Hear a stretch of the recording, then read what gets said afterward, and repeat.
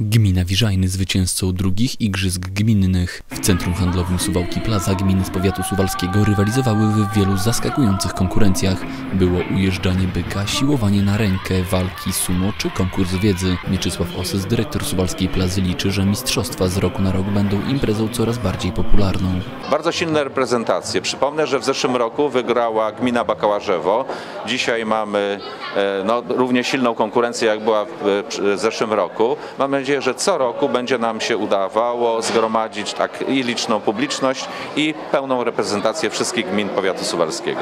Zabawie towarzyszyły występy artystyczne oraz stoiska z tradycyjnym regionalnym jadłem i materiałami promującymi gminy. Tomasz Naruszewicz, wójt Bakałarzewa, zwraca uwagę, że dzięki takim inicjatywom gminy mogą się wypromować i pokazać to, z czego słyną. To jest fajna rywalizacja właśnie gmin z powiatu suwalskiego.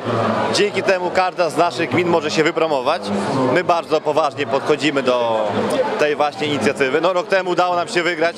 W tym roku spróbujemy znowu powtórzyć ten wyczyn, chociaż będzie trudno, bo wiem, że konkurencja nie śpi. E, Stoisko przygotowaliśmy, myślę, że, że fajne. Mamy prezentację też multimedialną i, i tradycyjną. Pomysł na zorganizowanie mistrzostw na wesoło spodobał się również samym uczestnikom. To bardzo ciekawy sposób na spędzenie wolnego czasu, mówią. Bardzo fajnie, miłe spędzenie czasu, tak? Słoneczna niedziela, myślę, że jest super. Bardzo mi się podoba. Yy, Zegrane zespoły. Pierwszy raz jestem na takim czymś, ale podoba mi się. Drugie miejsce zajęła gmina Raczki, a trzecie Rudka Tartak.